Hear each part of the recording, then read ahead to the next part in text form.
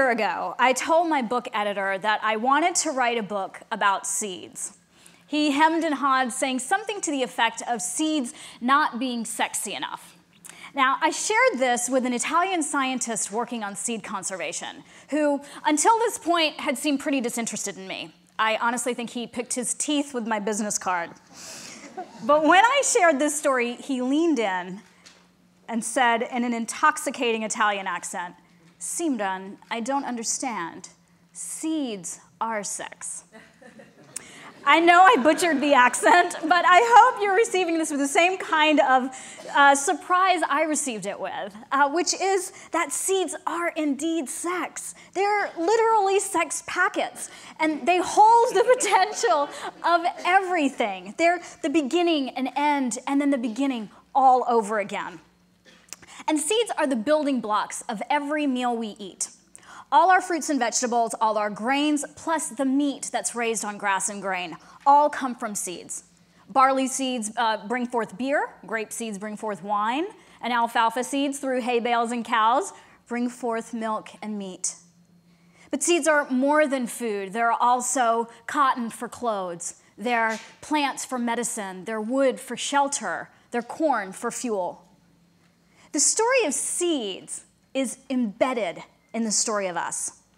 And these seeds, the beginning of everything that we rely upon, are disappearing. I'm to stay focused on food because this is the part that freaks me out the most. That while we've been talking about slow food and fast food, counting our calories and our food miles, and watching Top Chefs and Iron Chefs, the buried foundations of food and future food are disappearing. I know what you're thinking oh my God, now I have to worry about seeds? yeah. And they're already part of what you already care about. Because nearly everything we have, maybe everything we do, is connected to seed. Our work, our loved ones, our past, our future are all connected to seed. Of the 80,000 plant varieties that are edible, we only cultivate about 150. And of that, 95% of the world's calories now come from about 30 species. Here in America, four crops rice, corn, wheat, and potatoes comprise half our caloric intake. The shrinkage of what we grow is known as a loss of agricultural biodiversity. And it's the unintended consequence of a system that was originally intended to increase productivity and feed the world large scale industrialized agriculture. Now, in this system, we raise monocultures. You've seen them, single crops on huge tract of, tracts of land grown with little genetic variance. It makes it easier to add inputs like water, fertilizers, and pesticides. And it makes it easier to harvest. And let me be clear, as many of you know, farming is backbreaking work. And this eases some of the challenges. But it comes at a very high cost. The homogenization of our crops strips plants of the ability to adapt to climate change, pests, and disease. And it puts our entire food supply at risk. This is exactly what happened in the mid 1800s, when one third of the Irish population was dependent on potatoes for food. And one eighth of that population, about one million people, died when a pathogen wiped out the entire crop. Now, this story has echoed through Asia, Africa, and other parts of Europe. Let's come back to today. 50% of our calories come from rice, wheat, potatoes, and corn. Right? We're in the worst drought we've experienced in a quarter century, and corn yields are expected to be down 25% this year. The US Department of Agriculture estimates this drought will push retail food prices up by 3 to 4%. Now, maybe that doesn't feel like a big deal to you here, but because the United States is one of the largest producers of food in the world, these price increases impact everyone. We're so vulnerable to this shrinkage in our diets and this erosion in what we grow. Erosion is a great term because it highlights that this has happened incrementally. Over time, our diets and use of land have shifted, a shift that shows up on the farm. Right? Over time, seed varieties have diminished. And every time a variety isn't saved and drops out of cultivation, a set of genes disappears, which means that over time, foods have gone extinct. The Food and Agriculture Organization of the United Nations estimates 75% of crop varieties have disappeared since 1900. 75%. All right. While this change has happened slowly, a faster change in our food system is also giving me pause. And that's the consolidation of ownership of seeds, essentially seed monopolies. Three corporations now account for over half the global commercial seed market. And that includes hybrid seeds that are replaced annually and transgenic seeds, what we commonly call GMOs, that are patented and can't legally be saved or reused. Within this model, seeds become non renewable resources, inventions crafted by companies that farmers are required to buy year after year. This ensures a consistent yield and ensures that farmers will earn money for their hard work. But one company now controls the genetics of nearly 90% of the corn, soybeans, and cotton grown in the United States. And that same company in 2005 acquired the world's largest developer and grower of vegetable seeds. Monopolies are hideous with cell phones. We know this, but they're disastrous with food. Because food, seeds, aren't just any other commodity. Now, the refrain around this system has been this is the only way we can feed our growing population. If this is true, if this is how we feed the world, then why are 15% of American households struggling to put food on the table, while at the same time, 40% of our food is thrown away? Availability of food does not equal access. Now, add to this research from the NGO Bioversity International that shows a narrowing of variety in our diets, coupled with an increase in nutritionally poor processed foods, has contributed to the global epidemic of malnutrition.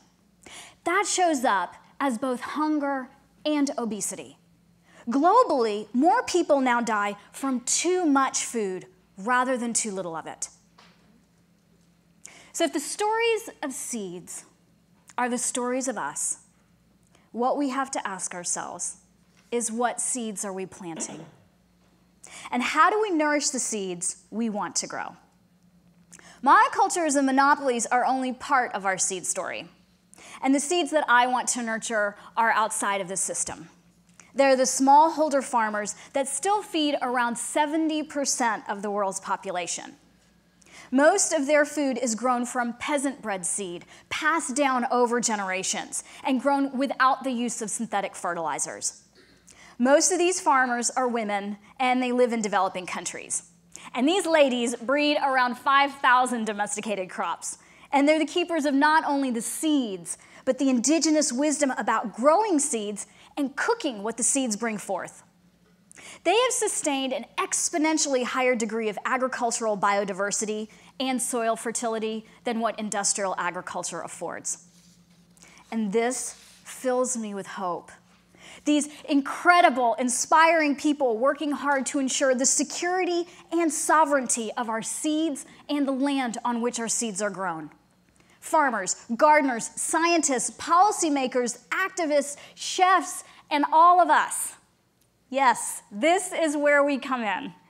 Because as Wendell Berry, so eloquently reminds us, eating is an agricultural act. Agriculture started about 10,000 years ago. The loss of most crop varieties has happened in the last 100 odd years. And the consolidation of the proprietary seed market has taken root in the last 20. In the long trajectory of how we've fed ourselves, these changes are so new. They're changes that we can come back from. We can plant new seeds. And this is what we do when we take time to learn about and support the people and institutions engaged in seed conservation, in seed banks, on farms, and in the wild.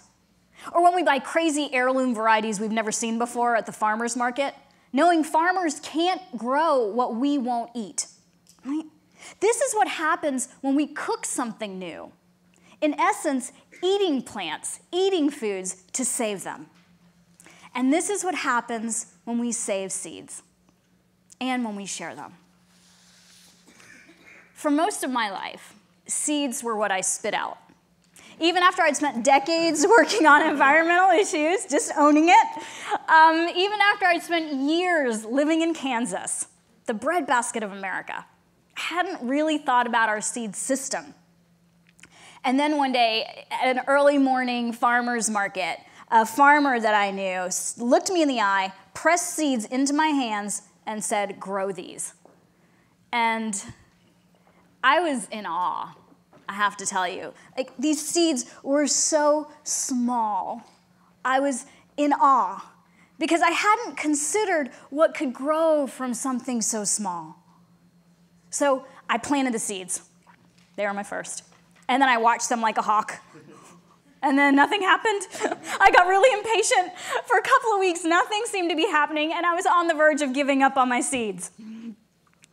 And then, like a miracle, a shoot came up through the earth, and it grew and grew and grew.